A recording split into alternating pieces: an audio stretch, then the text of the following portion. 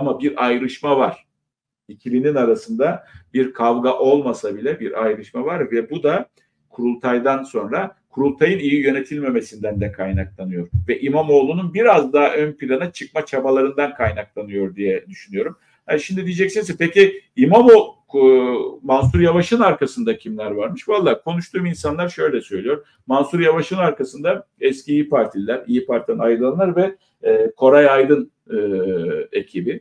Aynı zamanda Kılıçdaroğlu'nu destekleyenlerin de bakın burası da çok enteresan bence bana tuhaf geldi. Kılıçdaroğlu'nu destekleyen hali hazırda destekleyen isimlerin de Mansur Yavaş'ın arkasında olduğu veya Mansur Yavaş'a destek verdiği söyleniyor. Yani burada İmamoğlu ile e, Kılıçdaroğlu arasında da bir rekabetin olduğunu görüyoruz. Yani e, arada bir ayrılık var veya bir ayrışma var ve bu e, işte kurultayın iyi yönetilememesi ki Selin Sayak Böke'ye orada çok büyük e, şeyler var. Eleştiriler de söz konusuymuş. Genel başkanın işte orada e, böyle başını yaslaması falan o da basiretsiz davrandı Özgür Özel'de. Hala da yani emin değilim. Tam bir lider midir değil midir yönetebiliyor mu yönetemiyor mu partisini emin değilim ama son e, düzlükte ya ikinizi de kırdırmasın birbirine şimdi ikiniz de birbirinizi üzmeyin aradan ben çıkayım ki e, Kılıçdaroğlu'nun dediği gibi yaparsa o zaman gene hüsran.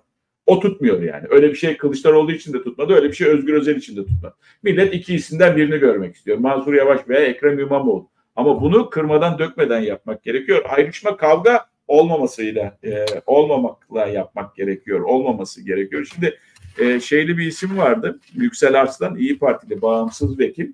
O bir tweet attı. Proje çocuk filan dedi. Dün verdim ben bu haberi. E, işte kimi yandaş televizyon, kimi televizyonlara bakıyorsunuz yandaş olmuyor. Onlar da CHP işte zarar vermesin diye onlar da bu haberleri yapmıyorlar biliyor musunuz? Çok enteresan. Ya yapacaksın arkadaş. Sen gazetecisin. Sana ne? CHP'nin içerisindeki yok işte yok destekleyeyim de o örselenmesinde bilmiyorum. Sen o zaman gazetecilik yap. Sen de bir yandaşsın o zaman. Candaşsın veya. Şimdi proje çocuk dedi Yüksel Arslan. İyi Partiliydi. Ayrıldı. Bağımsız milletvekili. Ki Ahmet sen de herhalde biliyorsundur e, askerin başındaydı. Mansur Yavaş'a da yakın bir isim Yüksel Arslan tabii. E, hangi bayrağa selam duruyorsun diyor. Siyasi kalpazan diyor. Tek derdi kendi kariyeri diyor. Ona çizilen rotada yürüyor. Kimi kastetti sorusu soruluyordu burada. Proje çocuk da diyor. Yani daha sonra işte dedi ben kimse bizim Mehmet Bal görüştü. Ben dedi kimseyle konuşmadım. Kimseyi kastetmedim bilmem ne. İşte özür dilerim Mansur Yavaş'tan. Mansur Yavaş da onlar rica etmiş kaldı bu tweet'i. Ya adamın kastettiği belli. Ekrem İmamoğlu'nu kastediyor. Lamicimi yok bunun yani. Kimse kimseyi de kandırmasın. Ee, geçmişte bu ikinci kelle zaten. Bu ikinci kelle. Şimdi Yüksel Arslan'la işte böyle bir şey oldu ya tweetini kaldı. Bir de Volkan Gültekin vardı. Biliyorsunuz Volkan da Evet, e, tanışıklığım vardır. Mansur Yavaş'ın basın danışmanıydı. Volkan'ın attığı bir tweet yüzünden de zaten zannedersem bir eleştirisi yüzünden işte o Paris olimpiyatlarındaydı zannedersem İmamoğlu oraya gitti de İmamoğlu orada da biz burada gibilerinden bir e, mesajı vardı onun. Onun da başı böyle yendi. İkinci kelle, birinci kelle de böyle gitti. Volkan Gültekin'in de gitmesi çok enteresandı çünkü. Şimdi Yüksel Arslan. Arada bir şeyler var. Bir ayrışma var. Ama ara bulunur mu bulunmaz mı? Bakın hem sıhhatli bir şey hem de sağlıksız bir olaydan bahsediyoruz. Bir parti içerisinde farklı adayların çıkması bence güzel bir şey. Ve bu iki aday da gerçekten toplumun sevebileceği, toplumun peşinden gidebileceği adaylardan bahsediyor. Ekrem İmamoğlu için de Mansur Yavaş için de. İkisine de oy verebilirim ben, sıkıntı yok. Ama ahlaklı yönetmeleri gerekiyor olayı.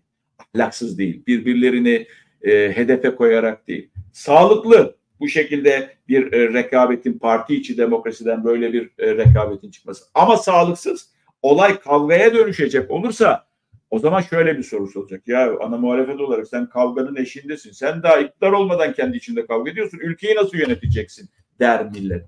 O, orada da büyük görev Özgür Özel'e düşüyor. Özgür Özel bunu kaldırabilir mi? Bunu sağlayabilir mi? Bilmiyorum. Zaman gösterecek, göreceğiz. Bu da bu, bu şekilde kulis bilgileri de vereyim.